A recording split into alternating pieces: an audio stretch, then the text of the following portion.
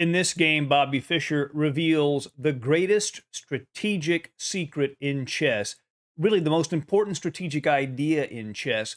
Players like Yasser Seirawan have called it building. You might want to call it incrementalism. Basically, it's building the position piece by piece and focusing on small details. What do you do when your opponent is too good for you to just play bishop c4, queen f3, queen f7, checkmate? What happens when they know the opening theory, when they don't fall for basic traps, like Fischer's opponent in this game, Grandmaster Wolfgang Unzicker? Well, Fischer shows us exactly how. Fischer has the white pieces, Grandmaster Unzicker has black. This was in Zurich 1959. e4, e5, knight f3, knight c6, and bishop to b5. Fischer plays the Spanish opening, a very good opening uh, for this sort of building approach to chess. You notice he's not trying to sacrifice anything on f7. He's just trying to build in the center. Uh, a6 was played by Unzicker, bishop to a4, knight f6, castles, bishop to e7, rook e1, b5, bishop b3, and d6, the main line of the uh, Ruy Lopez. c3, giving his bishop a place to hide on c2 or, and also to expand with d4 later. Uh, castles, and h3. Basically, all Fischer's trying to do is build a big center. He wants to play the pawn to d4, and he makes it so that the bishop can't pin the knight on f3, and the knight can then support the d4 advance. Knight to a5, going after the bishop and clearing the way for the c-pawn to advance, bishop c2, and c5. Black gains space. The only downside is he does leave a hole on the d5 square that Fischer might be able to put a piece in later. d4, expanding in the center. Queen to c7, the queen adds more defense to the e5 pawn, and it can also potentially play down the c file, and that opens up. Knight b to d2, bishop to d7, basically the main line. Chigorin, black has a very good position. The only problems, again, are this, this weakness at d5, and the knight at a5 is not well positioned. Sometimes this knight will make a, a very long journey, uh, even to the f7 square in some of these lines. Knight to f1, this normal strategy, going uh, to g3 or e3, rook f to e8 to give the bishop room to move back to f8, then even go to g7 later. Knight to e3, aiming at the d5 and f5 squares, and g6, basically allowing this bishop to later fianchetto, but also controlling the f5 square so the knight can't jump into it. And here Fischer played really his favorite move at the time, de5, de5 creating what we know as the focus formation. And what he's done is he's fixed the center. It's not mobile anymore. It can't become a lot of different formations. We know what formation formation we're going to have. The real advantage for white is that this square is weak, but the same cannot be said for this the square in white's position. d4 is not weak. The c3 pawn controls it. If black wants to take advantage of a weak square, you have to play c4 and then exploit d3. Very hard to do. Knight to h2. So he's just focusing on that d5 square. He wants to play the knight to g4 and trade off the knight at f6, the only piece that currently defends the d5 square. Rook a to d8, placing the rook opposite the queen. Queen to f3 moves out of that uh, the ray of that rook, but also um, moves over to the king side for potential attacking ideas. Bishop to e6, making sure d5 is protected by the rook and the bishop. Knight to h to g4. Now the knight's come off the board he takes with the H pawn. So he's tried to exploit d5. So far, black has been able to defend it, but he hasn't really had any time to do anything with his offside knight at a5. So now Fischer has a new strategy. He wants to play the pawn to g5 and then the knight to g4, threatening to come into f6 or h6, which would basically force black to take the knight with his light squared bishop and then Fischer would get the bishop pair. Again, just small things, not big tactics. Queen to c6, aiming at e4. Now g5, preparing that maneuver of knight to g4 to f6. The knight goes to c4. Of course, Unzicker would love for Fischer to just trade off that knight. He'd have a terrific position. Fischer's not going to do that.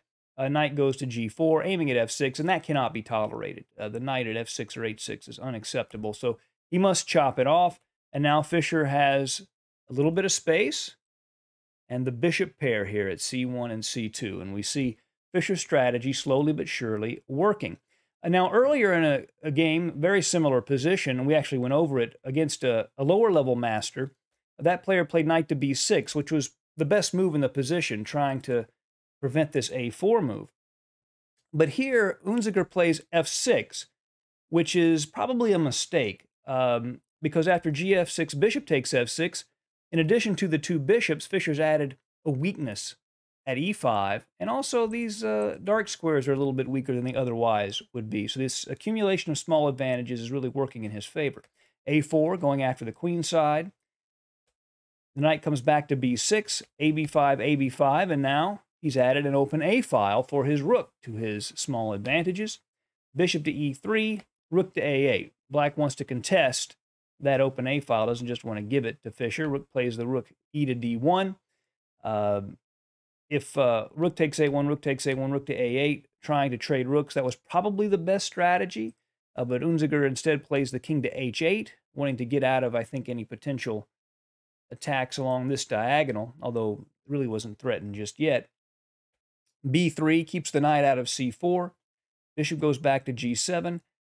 And now queen to h4 is played.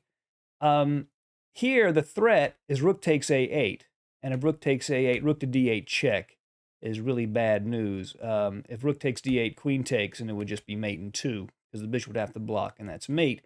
Uh, if instead uh, bishop to f8 to prevent that, then rook takes a8, knight takes a8, queen to d8, pinning the bishop, and after king g7, bishop h6, and then we can just see he wins a pawn, and he's got a much, much better position.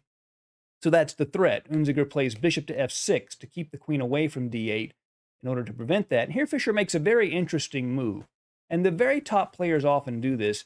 They'll play moves that are surprising strategically. But he plays bishop to g5, um, not only giving up the bishop pair, but exchanging off his good bishop for his opponent's bad bishop. I mean, that bishop at f6 is not that great. It's blocked by the e5 pawn. Well, why is that? Well, after bishop takes, queen takes, he's aiming more and more at this weak pawn at e5. And also now these dark squares are even weaker than they were before. So he's traded one advantage for another.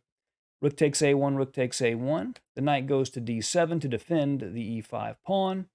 Bishop to d1, maneuvering the bishop to g4 to exchange off uh, the key defender of the e5 pawn. The knight goes to f6 uh, to control the g4 square, so the bishop can't go there.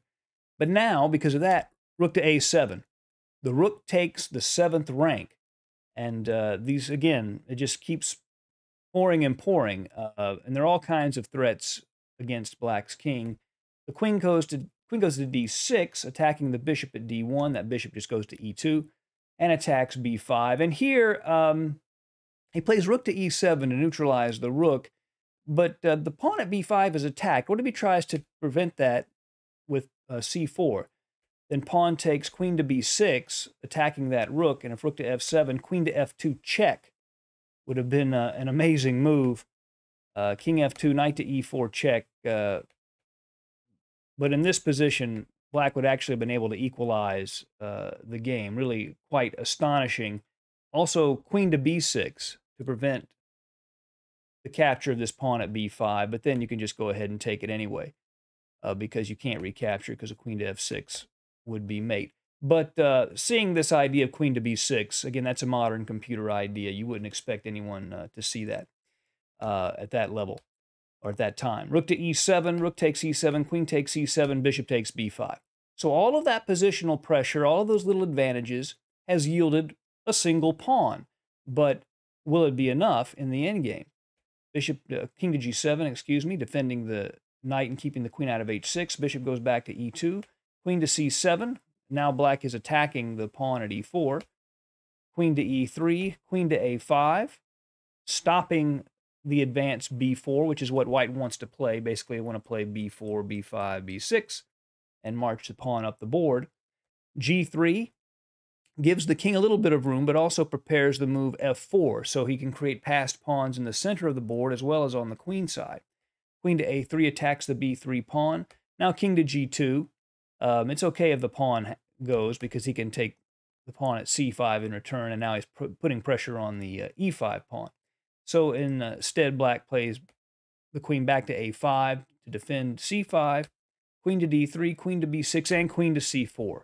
A perfect place for this queen. perfectly posted, defends everything, and prepares the b5, b4 push. Queen to c6 attacks e4, bishop to d3 defends it, queen to b6, and now b4. He's able to push the passed pawn. Takes, takes, knight to g4, aiming at f2. You always have to be uh, aware of tactics, but queen to c5 blocks it out. Uh, here, Unzicker went ahead and traded queens. What if he tries to keep queens on the board, say with queen to d8? Then bishop to e2 attacks the knight, and if knight f6, queen takes e5, and he would win another pawn. He'd be much better. So the queens are exchanged. King to f7, f4, creating a second passed pawn in the middle of the board. So he'll have to deal, black will have to deal with two passers. King to e7, king to f3 hits the knight. The knight goes to f6, and now bishop to b5. Notice how Fischer uses the pawn and the bishop to create a barrier that the king cannot pass. He does a tremendous job of doing that in this endgame.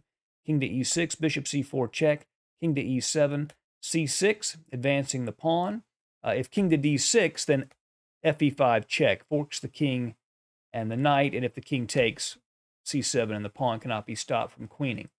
c6, knight to e8 is played instead to stop the advance of that pawn, but now f takes e5. And look at all of these squares.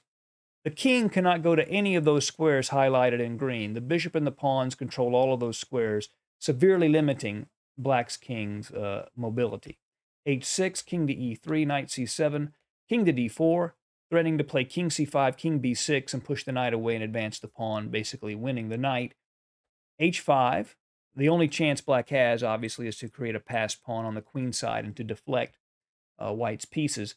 But king to e3, he comes back, and now he's threatening king to f4, and then he would just go to g5 and, and eat those two pawns. So you have to play g5, keeping the king out of f4. The bishop comes back to e2, attacking the h5 pawn. h4, gh4, gh4, bishop c4. And notice something very important. Fischer's king is within the square of this pawn. That's how you calculate whether or not a king can catch a pawn before it reaches the queening square. You draw a square uh, based on the number of squares away from the queening square. So 4 by 4, the king's inside the box, it can stop the pawn.